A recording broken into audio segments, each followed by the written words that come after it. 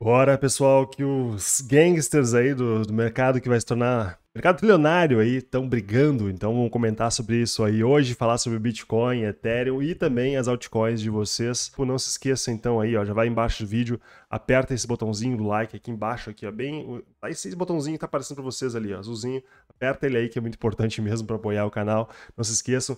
E também, uh, se você está inscrito, te convido a se inscrever e ativar as notificações para você não perder nenhum vídeo aqui, beleza? Então vamos lá, caras, o que que eu tô vendo pro Bitcoin aqui? O Bitcoin segurou, né, nas zonas de open interest que eu comentei para vocês ontem, perdeu os 30, os 37 de novo, né? Eu comentei para vocês que perdeu os 37, essas zonas 37 que viraria uma resistência, então foi exatamente o que eu falei para vocês ontem, né? Fiquem de olho, pessoal, porque Bitcoin perder os 37, essa aqui é a zona importante, 37 mil dólares, ó. Bitcoin perdeu os 37, tá? E aqui está retestando essa zona aqui agora, tá? Então é uma zona de resistência importante para o Bitcoin. Ah, se ele fizer esse pivôzinho de baixo que vai ficar dramático, na minha opinião, se perder aqui os 37, 35.700, 35.500 aqui vai, obviamente, na minha opinião, buscar a região dos 34.200 para baixo aqui, tá? Então esse é o ponto importante se prestar atenção em relação ao Bitcoin aqui agora. O único ponto que me deixando um pouco a pé atrás aqui, pessoal, nesse, nessa, nessa ideia de shortar o Bitcoin aqui, de aumentar a posição nessa região, é eu estou ainda nesse short aqui, tá? Nessas zonas de open interest abaixo, né? Realizei um pouco mais de short, estou rescalando também essas zonas aqui agora, tá? Então, mas eu quero, tô pensando se eu aumento a mão ou não. Esse é o ponto todo aqui. O que tá me deixando incomodado é realmente o Ethereum, tá? O Ethereum, para mim, ele tá muito bullish e não sei, cara. Eu acho que o Bitcoin pode esperar um pouquinho o Ethereum fazer esse movimento aí. Então tá me deixando um pouquinho a pé atrás, sabe? Pra querer shortar o Bitcoin nesse momento. Eu tô ainda nesse short, mas não tão pesado como estava antes aqui, tá? Então nessa região aqui, realmente Aqui antes, quando o Bitcoin abriu aqui, eu fiz uma parcial, reescalei aqui e acabei estopando né, a maior parte desse short aqui nessa subida dos 37, tá? Agora a gente voltou para desse range e esse 37 tá virando uma resistência de novo aqui. A Open Interest é o melhor indicador, tá? E esse indicador aqui do, do CoinAlyze é impressionante. Vocês, se vocês usarem isso aqui, caras, para as altcoins, para tudo, tá? Para tudo que vocês forem operar, operar e tentar buscar operações, na minha opinião, erra de fato o melhor indicador. Olha só como o Bitcoin vai aqui, ó, na zona de eu comentei ontem para vocês aqui, ó. Zona de suporte aqui, ó. Pum, foi aqui, segurou, ó, segura exatamente aqui, então é o ponto para você fazer uma parcial. Faz a parcial em zona de open interest. Por quê? Open interest é onde tem gente presa, gente presa que tá com uma operação no negativo. Se o preço está afastado dessa zona de open interest, alguém está perdendo dinheiro, entendeu? Esse é o ponto todo. Quando, quando o preço volta naquela região ali, o pessoal tenta sair no zero a zero e gera uma demanda, entendeu? Para o Bitcoin ou para qualquer ativo que você estiver usando, tá? Ah, lembrando que para os membros do canal tem conteúdos, tá? Sobre, sobre Open Interest. Tem só, só do Open Interest tem umas seis ou sete uh, conteúdos que eu fiz lá para os membros, tá? No meu website. E vou gravar mais conteúdo sobre isso também, que acho que é mais importante, é o melhor indicador, tá? De fato. Olha só. E aqui os 37 nessa região que o Bitcoin está aqui, 37 mil dólares, tem outra zona também importante de open interest aqui. Então, ou seja, tem gente aqui, ó, que tá presa nessa região aqui também, tá? Então, assim você pode fazer. Se você quiser aprimorar mais isso aqui, você pode também fazer o seguinte, ó.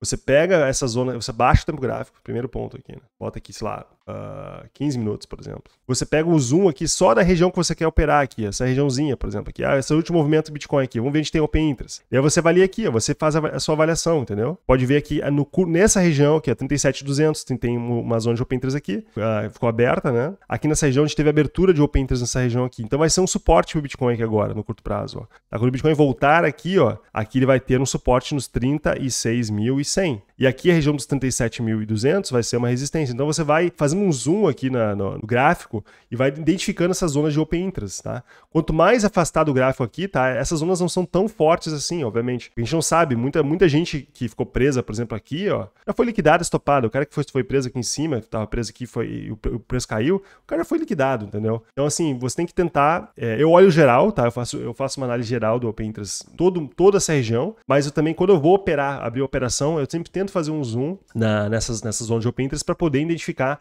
onde tem suporte e resistência, tá? Se você juntar isso aqui com volume, volume, uh, né, identificar zonas de alto volume, seja no topo ou fundo, você vai conseguir ter mais, uh, mais assertividade nos seus trades aí, tá? Então eu aconselho você fortemente a usar esse indicador.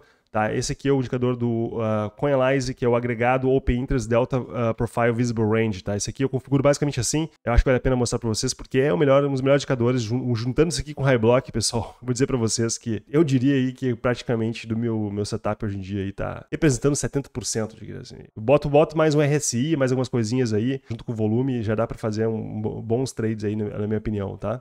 Porque o mercado é muito disso, né? É, é, é o mercado de criptomoedas Pra vocês entenderem, ele é basicamente uma caça-liquidez da galera que ficou presa em determinadas zonas. Então, quando muita gente abre uma operação de long, é, abriu uma operação de long no, no, Bitcoin, muita gente abriu essa operação numa determinada região, se esse pessoal ficar preso, eles viram liquidez mais abaixo, entendeu? Mesma coisa para os shorts. Os shorts abriram uma, uh, zonas de shorts em uma determinada região e o preço ele sobe, é, o preço vai subir até pegar a liquidez desses caras que estão presos, entendeu? Então, isso é importante vocês identificarem. É uma zona de forte open interest que o preço se afastou, essa galera vai, vai virar liquidez né, numa região oposta, tá? Basicamente isso.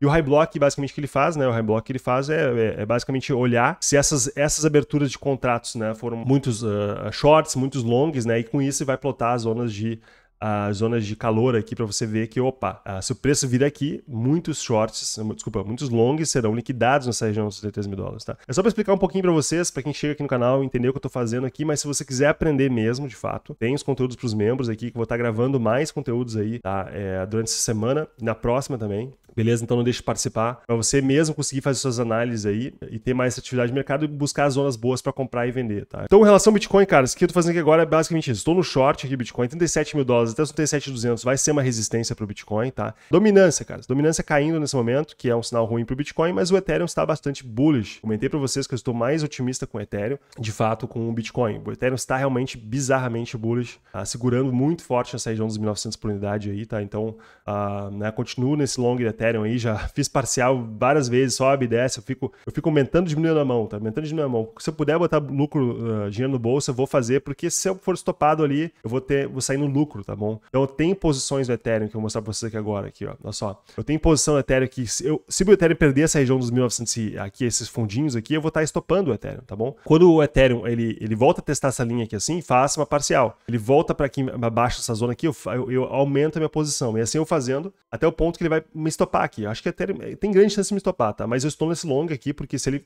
disparar aqui agora, eu quero estar tá posicionado, porque eu acredito que o Ethereum tem grande chance de buscar essa região aqui dos 2.200 dólares por unidade. E o CPR mensal que tá, inclusive, que tem, ó, 2.300, inclusive, né? Tem potencial de chegar.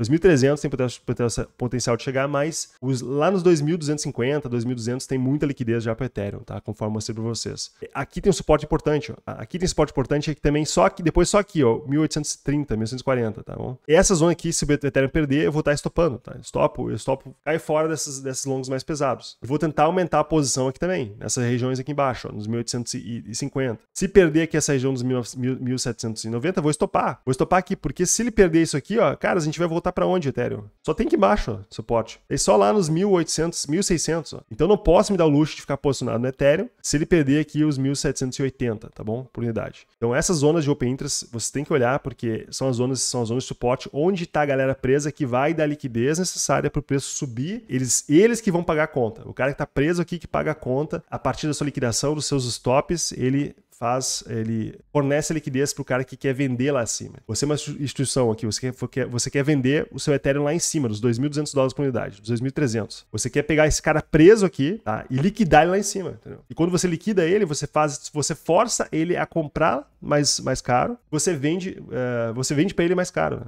Basicamente é isso como funciona o mercado, tá bom? Entendendo isso, vocês vão estar entendendo, na minha opinião, 80% do mercado cripto. Basicamente, é, é para mim, isso aqui explica né, tudo que vocês estão vendo aqui, as movimentações todas é basicamente isso aqui, tá bom? Não é uma, uma, uma manipulação da, da, da, corretora, como alguns falam, não. Isso aqui, pessoal, é o mercado vendo, tá? O mercado vendo onde tem a galera presa, onde vai gerar demanda, onde vai gerar resistência, onde vai gerar pontos de, de liquidez, tá? Lembrando que o mercado os grandes players querem buscar liquidez, vocês têm que buscar liquidez junto, tá? Olhando aqui agora a liquidez do Ethereum, 7 dias aqui tá um pouquinho confuso, mas essa tem muita liquidez em cima aqui, tá? Nos 2140, 2130, bastante mais liquidez acima. Depois abaixo aqui, ó, só lá nessas regiões aqui, todas aqui, tá? Mas eu, eu acho que o Ethereum realmente tá mais, mais bullish do que bearish aqui, tá? Olha, deixa eu olhar de um mês aqui, ó. Essa zona aqui tem muita liquidez. Até os 2250 aqui por aqui, muita liquidez do Ethereum, tá? Eu acho mais provável o Ethereum buscar essa liquidez em cima. Se ele perder os 1900, 1910 aqui por unidade, a gente pode voltar lá para os 1830, 1840, que é outra zona de open interest, que eu não quero ver o Ethereum perdendo, tá? Se começar a perder isso aqui, pessoal, fica dramático, tá bom? Na minha opinião. Dá uma olhadinha lá naquele indicador para vocês poderem planejar o trade de vocês. Então, estou long em Ethereum, ainda short no, no, no Bitcoin. Uh, se o Bitcoin ele romper os 37.300, eu vou fechar esse short totalmente do Bitcoin, tá? Tô caindo fora. Então, a minha estratégia nesse momento aqui é, é isso, beleza? Então, não se esqueça aí, se você quiser ter esse indicador, pessoal, tá? Do High Block, é, tem Black Friday, tá?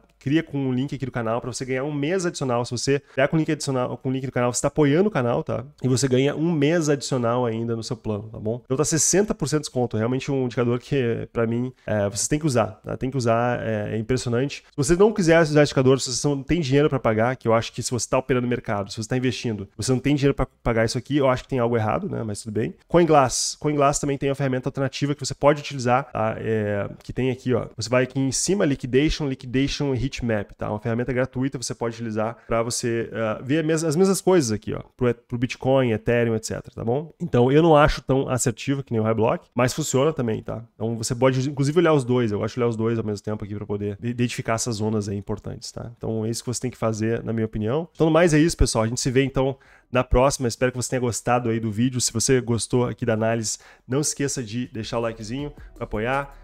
Inscreva no canal, ative as notificações e a gente se vê então em, em breve na próxima aí. Qualquer, qualquer movimentação do preço eu volto aí hoje para vocês, tá bom? Um abraço, valeu!